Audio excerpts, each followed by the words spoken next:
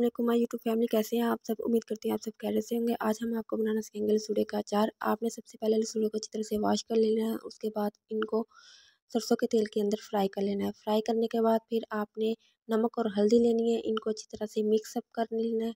Mix up करने के बाद फिर आपने एक बाल्टी लेनी है और उसके अंदर आपने ऐड कर देने हैं लसूड़े।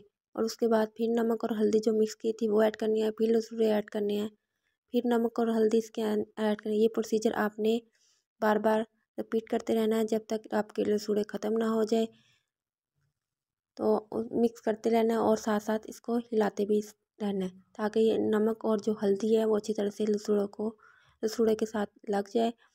और उसके बाद फिर जो लास्ट में नमक और हल्दी बचे वो आपने इसके अंदर ऐड कर लेनी है और अच्छी तरह से इसको मिक्स कर लेना है।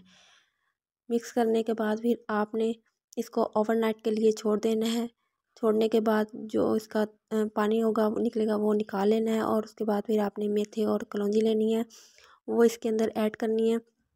फिर उन दोनों को मिक्स कर लेना है। फिर ऐड करनी है मेथी और कलौंजी, फिर मिक्स कर लेना है। ये पूरी चीज़ें करते रहना है। और उसके बाद आपने इसके अंदर सौंफ ऐड कर देनी है और फिर मिक्स करते रहना है। फिर सौंफ ऐड करनी है, फिर मिक्स करते रहना जब ये अच्छी तरह से मिक्स हो जाए, फिर इसके अंदर आपने सरसों का तेल डाल देना है और सरसों का तेल डालने के बाद फिर इनको अच्छी तरह से एक बार मिक्स अप कर लेना ताकि थोड़ा सा ये सरसों के तेल के अंदर डिप हो जाए और उसके बाद आपका ये अचार रेडी है। मिलती है नेक्स्ट वीडियो में। अल्लाह हाफिज़।